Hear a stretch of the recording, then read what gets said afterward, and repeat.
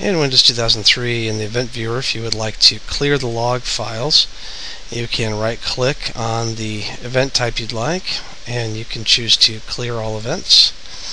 And before clearing you can choose to save the file if you want. Go ahead and click save. Choose the location and pick a name for that. And then when done you can just go ahead and choose no if you'd like to do that and the log files are cleared.